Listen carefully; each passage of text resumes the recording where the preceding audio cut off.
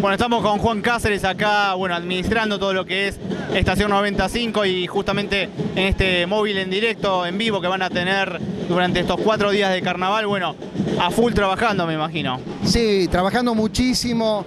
Eh, realmente esto para nosotros es una gran experiencia porque es la primera vez que nosotros estamos saliendo en vivo.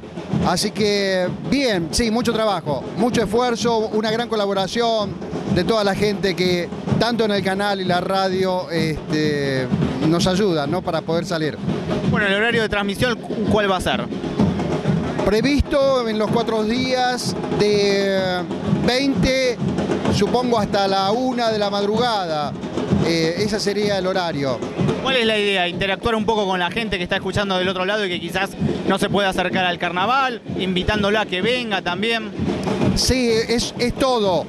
Eh, asimismo, bueno, estamos haciendo cobertura en todos los otros puntos que eh, dentro del distrito eh, se hace carnaval.